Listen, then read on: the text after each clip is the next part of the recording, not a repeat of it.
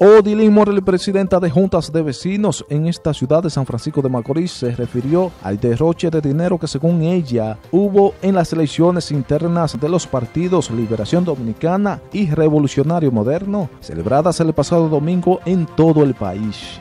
Decirle que eso se esperaba, esa fiesta de billete en el día de ayer, y eso es lo que se esperaba.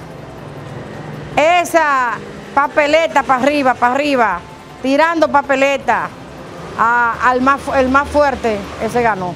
Dijo que le preocupa lo que pudiese pasar en las elecciones del 20. Y el país debe prepararse para la otra contienda que viene, que esa va a ser la fuerte, porque ahí va a haber una guerra de billetes. Pero señores, debemos pensar en el país. Este país que cada día se endeuda más, buscando dinero para ganar y nosotros, lo que no tenemos nada, lo que tenemos que buscar el dinero para poder sostenernos, es preocupante. NTN, su noticiero regional, Robinson Polanco.